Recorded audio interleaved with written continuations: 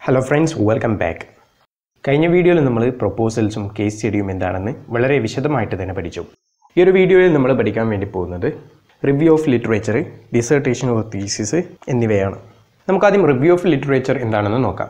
കഴിഞ്ഞ യൂണിറ്റിൽ നമ്മൾ പറഞ്ഞിട്ടുണ്ട് ഒരു ടോപ്പിക്കിന് മുകളിൽ നിങ്ങൾക്ക് ഒരു അക്കാഡമിക് റൈറ്റിംഗ് അസൈൻമെന്റ് ലഭിച്ചാൽ നിങ്ങൾ അതിനെ നോക്കിക്കാണേണ്ടത് ഒരു ഓൺ കോയിൻ കോൺവെർസേഷനിലേക്കുള്ള ഒരു കണ്ടിന്യൂഷൻ ആയിട്ടോ അല്ലെങ്കിൽ അതിലേക്കുള്ള ഞങ്ങളുടെ ഒരു എൻട്രി ആയിട്ടോ ആണ്. നിങ്ങൾക്ക് മുമ്പേ നിങ്ങൾക്ക് കിട്ടിയിരിക്കുന്ന ഈ ഒരു സബ്ജക്റ്റിന്റെ മുകളിൽ പലരും അവരുടെ അഭിപ്രായങ്ങൾ രേഖപ്പെടുത്തിയിട്ടുണ്ട്. അപ്പോൾ നിങ്ങൾ ആ വർക്ക് ചെയ്യുന്നതിന് മുമ്പ് അതിൽ റിലവന്റ് ആയിട്ടുള്ള കുറച്ച് റൈറ്റപ്സ് നിങ്ങൾ വായിച്ചിരിക്കണം. അത് വായിക്കുന്നതിലൂടെ നിങ്ങളുടെ റൈറ്റിങ്ങും അവരുടെ റൈറ്റിങ്ങും തമ്മിൽ നിങ്ങൾക്ക് ഡിസ്റ്റിങ്വിഷ് ചെയ്യാനും മറ്റുള്ളവർ എഴുതിയിട്ടുള്ള ഒരു റൈറ്റപ്പിൽ എന്തെങ്കിലും ഗ്യാപ്പുകൾ നിങ്ങൾക്ക് കണ്ടെത്താൻ വേണ്ടിയിട്ട് കഴിഞ്ഞാൽ നിങ്ങൾക്കത് ഫില്ല് ചെയ്യാനും വേണ്ടിയിട്ട് സാധിക്കും. ഒരു റിസർച്ച് പേപ്പറിന്റെ വളരെ ഇമ്പോർട്ടന്റ് ആയിട്ടുള്ള ഒരു കോമ്പോണന്റ് ആണ് ലിറ്ററേച്ചർ റിവ്യൂ ചിലപ്പോൾ ഇൻസ്ട്രക്ചർ അല്ലെങ്കിൽ അക്കാഡമിക് ഇൻസ്റ്റിറ്റ്യൂഷൻ ലിറ്ററേച്ചർ റിവ്യൂ തന്നെ ഒരു സെപ്പറേറ്റ് ആയിട്ടുള്ള റൈറ്റിംഗ് അസൈൻമെന്റ് ആയിട്ട് നൽകാറുണ്ട്. വളരെ സിമ്പിളായിട്ട് പറയുകയാണെങ്കിൽ it is the summary of relevant previous writing on the topic under discussion ഡിസ്കഷനിലുള്ള ഒരു ടോപ്പിക്കിന്റെ മുകളിലുള്ള റിലവന്റ് ആയിട്ടുള്ള പ്രീവിയസ് റൈറ്റിംഗ്സിന്റെ ഒരു സമ്മറിയാണ് ലിറ്ററേച്ചർ റിവ്യൂ എന്ന് വെച്ചാൽ. ഒരു ടോപ്പിക്കിന്റെ മുകളിലുള്ള ഫോർമൽ ആയിട്ടുള്ള പ്രീവിയസ് റൈറ്റിംഗ്സിന്റെയോ ജേണൽ ആർട്ടിക്കിൾസിന്റെയോ ബുക്സിന്റെയോ ഒരു സർവേ കൂടിയാണത്.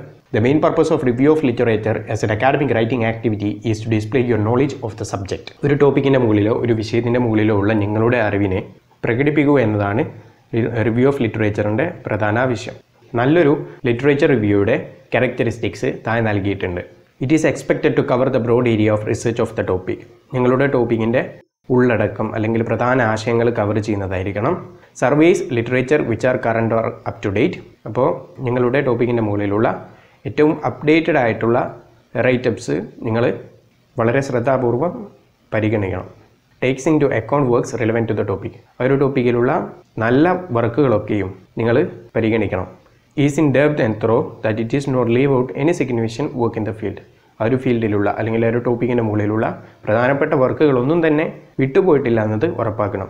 Attempts to look at previous writing with a critical eye ഇതിനു മുമ്പുള്ള എഴുത്തുകളോട് ഒരു ക്രിട്ടിക്കൽ ഐയോടുകൂടെ ഒരു നിരൂപണ സ്വഭാവത്തോടുകൂടെ നിങ്ങൾ അതിനെ കാണണം. Of finding out the methodological and other shortcomings of a work review നിങ്ങൾ റിവ്യൂ ചെയ്തിരിക്കുന്ന വർക്കിന്റെ കണ്ടെത്തലുകൾ അതിൽ മാർഗ നിർദ്ദേശങ്ങളൊക്കെ നിങ്ങൾ പരിഗണിക്കണം. Users techniques of referencing to indicate details of work reviewed നിങ്ങൾ റിവ്യൂ ചെയ്തിരിക്കുന്ന വർക്കുകളുടെ ഡീറ്റെയിൽസ് റെഫറൻസിങ് ടെക്നിക്സുകൾ ഉപയോഗിച്ചുകൊണ്ട് നിങ്ങൾ സൂചിപ്പിക്കണം. നെക്സ്റ്റ് നമുക്ക് ഡിസർട്ടേഷൻ അല്ലെങ്കിൽ തീസിസ് എന്താണെന്ന് പഠിക്കാം. The words dissertation and thesis are often used interchangeably to refer to the mandatory final projects in certain academic programs. Dissertation എന്ന വേർഡും തീസിസ് എന്ന വേർഡും പല സ്ഥലങ്ങളിലും ഇന്റർചേഞ്ചബിളി യൂസ് ചെയ്യാറുണ്ട്.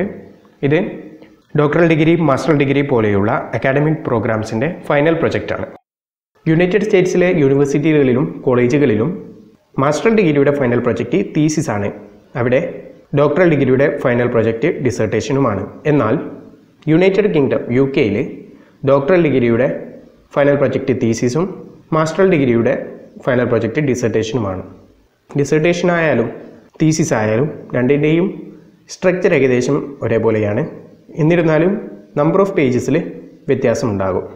ഒരു ഡോക്ടറൽ ഡിഗ്രിയുടെ തീസിസ് അല്ലെങ്കിൽ ഡിസർട്ടേഷൻ ഒരു മാസ്റ്റർ പ്രൊജക്റ്റിനേക്കാളും ലെങ്തിയറാണ് കമ്പയർ ചെയ്യുമ്പോൾ.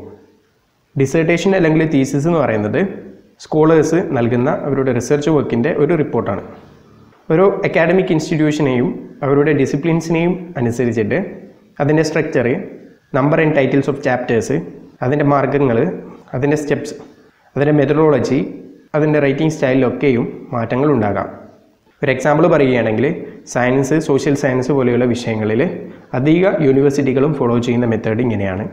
അതിലുണ്ടാകുന്ന കണ്ടന്റുകൾ നോക്കാം. Title page abstract introduction review of literature methodology result discussions findings references or bibliography എന്നിവയാണത്. എന്നാൽ ഹ്യൂമാനിറ്റീസ് വിഷയങ്ങളിൽ നോക്കുകയാണെങ്കിൽ തീസിസിനെ മൂന്നായിട്ടാണ് ഡിവൈഡ് ചെയ്തിരിക്കുന്നത് കാണാൻ വേണ്ടിയിട്ട് സാധിക്കുന്നത്. ഇൻട്രൊഡക്ഷൻ അത് തന്നെ മിനിമം മൂന്ന് ചാപ്റ്ററിൽ കുറയാത്തതായിരിക്കണം. A conclusion and reference or work cited or bibliography എന്നീ സെക്ഷൻസുകളാണ് കാണാൻ വേണ്ടിയിട്ട് സാധിക്കുന്നത്. എന്നാലും പല യൂണിവേഴ്സിറ്റികളിലും ഇതിൽ നിന്നും വ്യത്യസ്തപ്പെട്ടിട്ടുള്ള ഫോർമാറ്റുകളും നമുക്ക് കാണാൻ വേണ്ടിയിട്ട് സാധിക്കുന്നുണ്ട്. അപ്പോൾ നമ്മുടെ റണ്ണേഴ്സ് ഓഫ് അക്കാഡമിക് റൈറ്റിംഗ് ഇവിടെ അവസാനിക്കുകയാണ്. നെക്സ്റ്റ് വീഡിയോയിൽ നമ്മൾ അപ്രോച്ചസ് ടു അക്കാഡമിക് റൈറ്റിംഗ് പഠിക്കുന്നതായിരിക്കും. സ്റ്റേറ്റ് വേണ്ടി വിത്ത് ചാനൽ സബ്സ്ക്രൈബ് ചെയ്യാൻ മറക്കരുത്. ഈ വീഡിയോ ഇഷ്ടപ്പെട്ടിട്ടുണ്ടെങ്കിൽ ലൈക്ക് ചെയ്യാനും മറക്കരുത്. താങ്ക്